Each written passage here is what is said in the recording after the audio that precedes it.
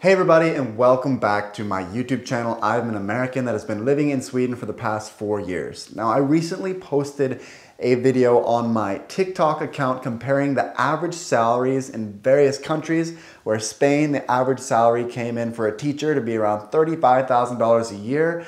In Sweden, that number goes up to about $49,000 a year, and in America, that number is normally in the mid $60,000 per year. So the American teachers, on average, in terms of the salary, is highest out of the three countries that I looked at in this comparison. With that being said, having lived in both America and Sweden, I tend to think that the standard of living and quality of living seems to be just a little bit higher in Sweden when compared to America. But on paper, the American teachers are making more money. And I'm trying to reflect on why is it that it's this way? And there was a lot of people commenting in the comment section, but it was very obvious that the people commenting in the comment section had no idea what they were talking about. And I wanted to address some of these comments with you guys and make this video on this subject. Now, the first comment that came up quite frequently in the comment section is that there's no way that Swedish teachers make $49,000 a month.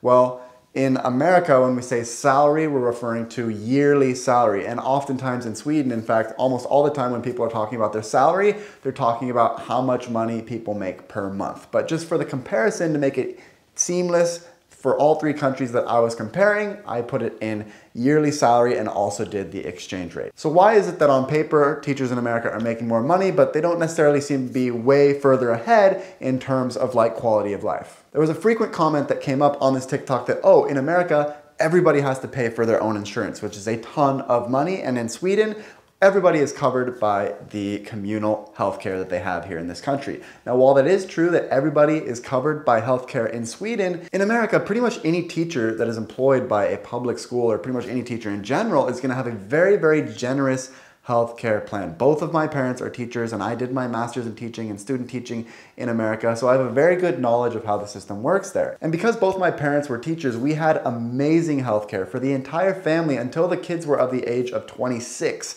So that included healthcare for everybody, a really, really quality healthcare plan. Also, dental was covered for life and then up for the kids up until age 26 as well. And then very, very good vision coverage. Pretty much all of the insurance needs were taken care of. And that was in addition to the salary. There's this misconception that everybody in America has to pay for their own health insurance, but it's pretty much if you're self employed or unemployed, you have to pay for your own healthcare insurance. But if you have a job with an employer or if you're working in the public sector, like a teacher or a nurse, you're gonna get that coverage through your job, and that's not an extra expense that you're gonna be paying in addition because normally your employer will take care of that. But based on that comment section, it seemed like a lot of people in Sweden were very, very confused about how this works. Now, if I were to compare the systems in Sweden and America, on the one hand, I really do like the system in Sweden because even if you are unemployed, you still have the right and access to get quality healthcare. Whereas in America, you need to have a job to have your employer kind of cover that. And a lot of people might be like,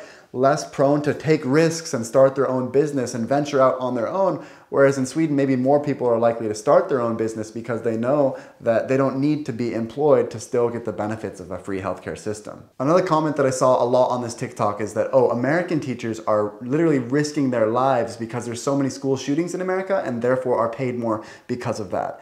I think that was just sort of a ridiculous comment because if you look at the actual numbers, the risk of being in actual danger from a school shooting is so low in America, even though school shootings happen a lot more in America than they do here in Sweden. If you look at the numbers, over the last 10 years in America, there was 36 deaths per year on average from school shootings. But then you look at the total number of students and teachers, if you add up all the students and teachers and personnel, there's about 60 million people that are in schools every single day in America. So that means in any given year, you have a one in two million chance of dying in a school shooting. So I don't think teachers are necessarily getting paid a lot more in America because they're risking their lives. Yes, it's very unfortunate that there are so many school shootings And I definitely think that it is a problem that we should continue to have more common sense gun laws and these types of things to try to minimize that as much as possible. Now, there's debates on both sides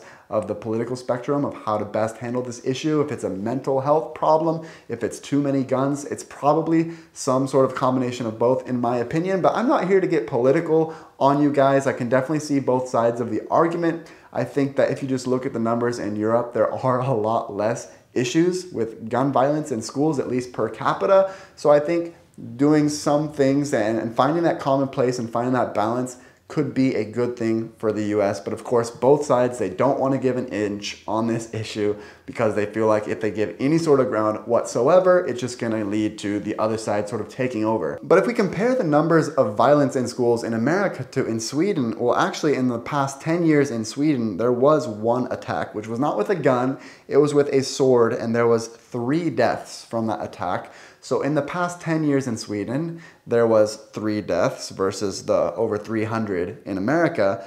But still, if you look at the odds of dying as somebody in a school in Sweden and you extrapolate the numbers out and take into account the much smaller population in Sweden, you have a 0.3 in 2 million chance of dying in a school. So you have a three times greater chance in America of dying from violence in school from either a gun or knives or these sorts of things versus in Sweden you have one third less chance. But there still is a chance of being in danger in whatever country you are in because there's crazy people in every country. So based on what we've talked about so far, I don't think teachers are paid more because they have to cover their own insurance because most teachers are covered by their employer's insurance. And they're probably not paid more because they have a higher chance of, of dying on the job. So why is it that Swedish teachers enjoy such a high quality of life even though they're paid less? Well, one factor that might contribute to this is the cost of universities. Now, to get a professional position in America, normally the professional positions where you are required to have a college degree in America are paid more if you compare those same positions to the people that are working those positions in Sweden.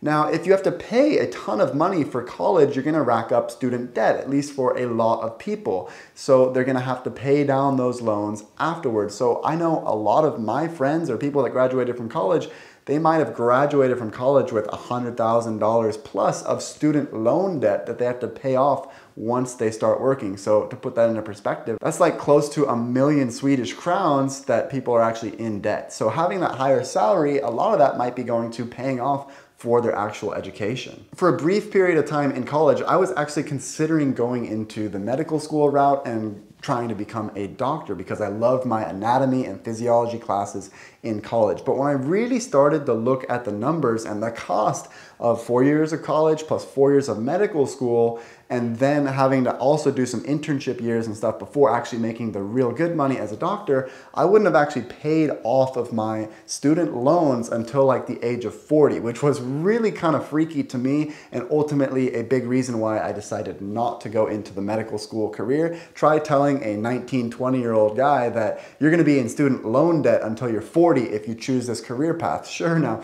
American doctors make a ton of money and a lot more than their equivalent counterparts in Sweden, but but that is a huge commitment. And if at some point along that way that you decide this isn't the career that you want to do, you're in a very, very sticky situation. The other reason why I think less money goes further in Sweden is that just the general lifestyles are different. This was another interesting statistic.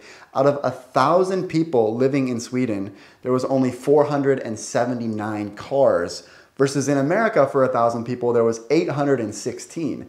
So almost twice as many people have cars in America, and it really highlights the fact that you really need a car because the public transportation isn't as good. You need a car to get around. And if you have to have a car in addition to your place of living, that's adding a huge expense. And most American families that I know have two cars. So you're adding in insurance for that, gas, all the costs of, of buying new cars and upkeep and maintenance that's a huge portion of people's salaries as well. Whereas in Sweden, much less people are driving on a day-to-day -day basis. Another factor that could contribute to this is rent prices. Now I live in Stockholm, which is not known for having cheap rent. In fact, in Sweden, it's by far the highest rent, especially if you want to live in the city center in Stockholm.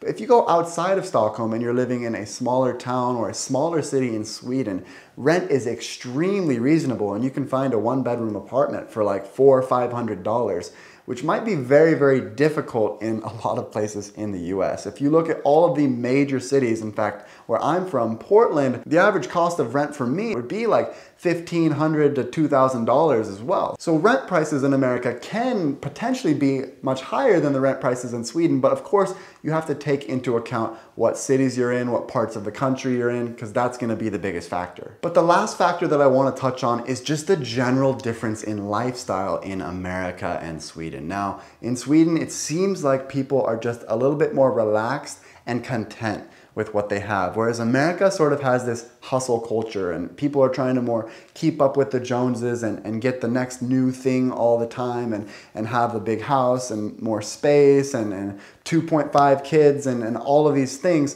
The lifestyle in America, people are just hustling. They're working hard and they're trying to get the new thing. And I think when you're in this sort of society where you're never content with what you're having and you're always trying to push and compete and get the next thing, even if you're making more money, you're gonna be less content with your life. I think Swedish people are just generally more content with what they have. And I think that is a major reason why people in Scandinavian countries typically rank towards the highest of happiest countries in the world, which I've already made a video about on the channel. And the very last comment I wanna respond to in regards to this TikTok is that it was also saying that, oh, teachers in America, they have to buy their own supplies for the students in their classes.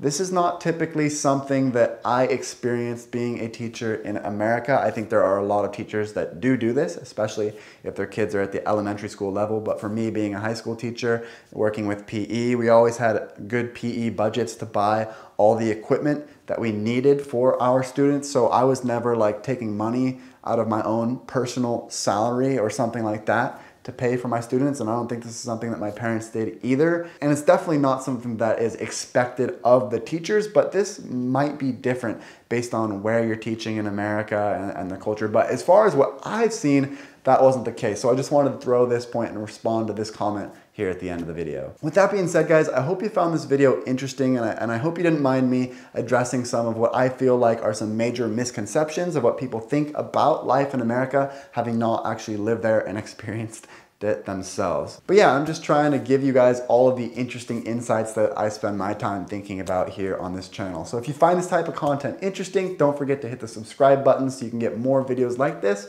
And with that being said, I will see you in another video.